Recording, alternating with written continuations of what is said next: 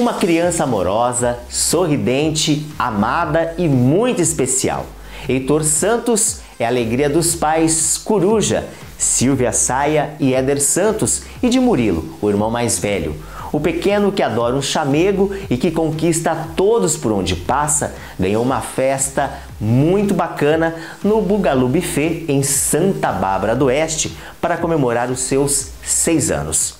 A decoração buscou inspiração na animação Up Altas Aventuras, retratando a bela amizade entre um jovenzinho e pessoas mais velhas.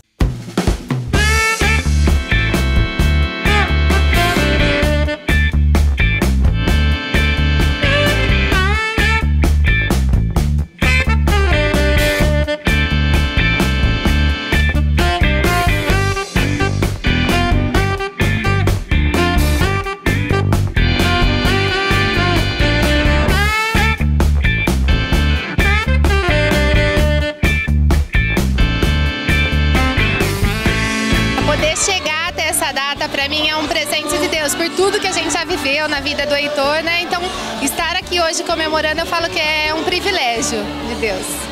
A gente sabe que você é um super paizão, né? E o Heitor? É. Nossa, essa é minha vida, minha paixão, minha família é minha vida.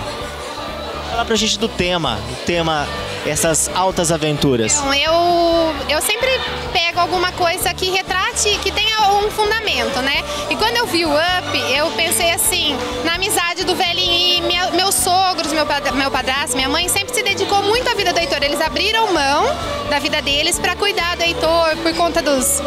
É, da prematuridade, dos, contra, né, do, dos contratempos. Então, assim, eu vi um tema onde existe uma cumplicidade, uma dedicação, né? Então eu vi isso. E também da amizade, né? Que tem um amiguinho muito importante do Heitor. Aí eu falei assim, eu abordei esse tema nesse sentido.